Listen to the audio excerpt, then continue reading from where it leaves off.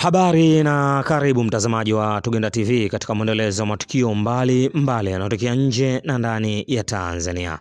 Kubwa hii leo, chama cha majaji na mahakimu nchini kimeeleza kusikitishwa na matamshi ya mfanyabiashara Rostam Azizi yanayoweza kuhatarisha uhusiano na ushirikiano katika mihimili ya dola, hivyo kumtaka athibitishe kauli yake, akibainisha jina la jaji na lini alipewa maagizo na kiongozi wa serikali kutoa maamuzi kinyume na taratibu zilizopo.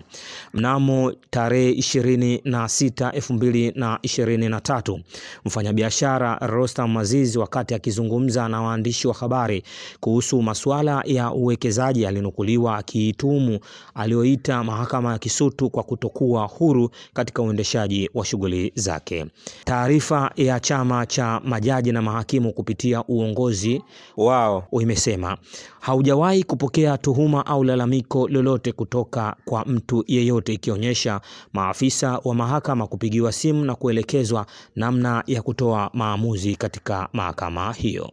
Hivyo kama mfanyabiashara Rostam Azizi akishindwa kutoa uthibitisho, inamtaka atumie jukwaa lile lile kuomba radhi kwa uzito ule ule.